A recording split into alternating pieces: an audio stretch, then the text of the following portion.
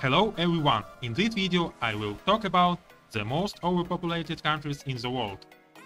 Using population density statistics, we have compiled a list of the 10 most overpopulated countries in the world. Let's go! 10th place, Indonesia. Indonesia is home to 273 million people who speak 720 languages. Indonesia ranks for in terms of population after India, China and the United States. The population density is 143 people per square kilometers. At the same time, half of the population lives on one small island, the island of Java. The birth rate in this country is constantly increasing. Ninth place, China. China is one of the most populated countries in the world. Nearly one and a half billion people live on a gigantic area. The population density is 146 people per square kilometer. Most of the people live in the east of the country. Chinese civilization in very ancient, originated several thousand years ago. Despite all sorts of reforms to slow down the birth rate. The problem of our population still remains one of the main ones in the country. 8th place Nigeria. Nigeria suffers greatly from a surplus of people. There are 206 million people in Nigeria. The average birth rate is almost 5 births per woman. Since Nigeria has very poor medicine, the average life expectancy is 47 years. Despite this, every year the country's population grows by 2% a year. 7th place Pakistan. Pakistan is a country of the world with a rapidly growing population. This small country is home to 220 million inhabitants.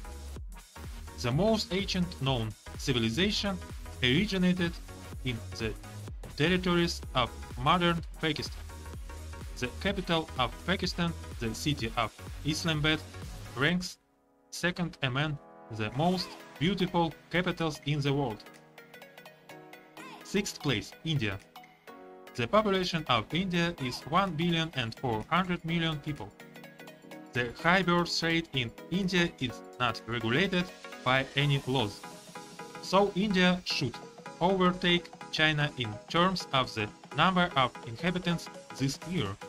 70% of Indians live in rural areas.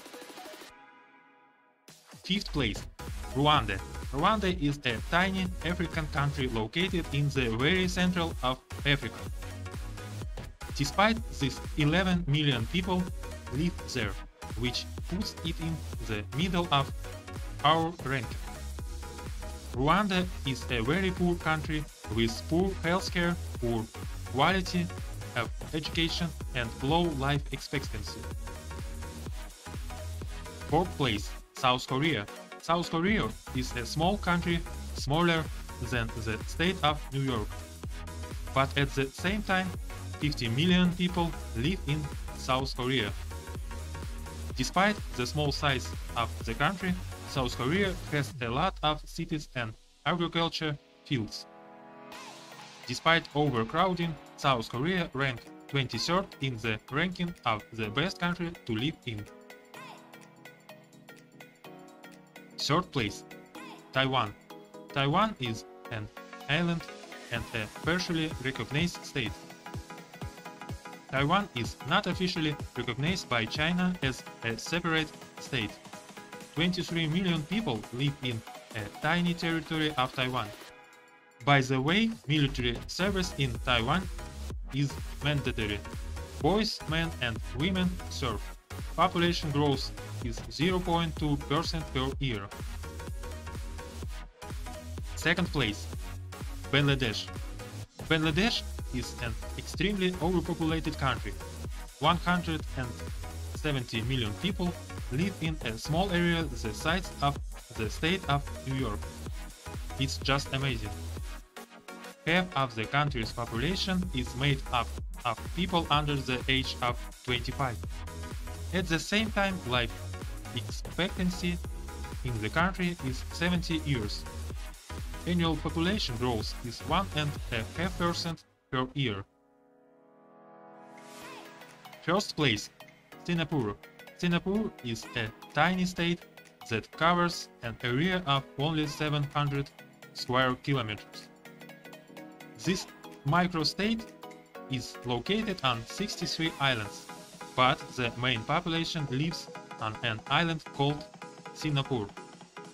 The population of Singapore is 6 million people. The country uses land reclamation technologies, thanks to which the area of the state has been increased by 15%.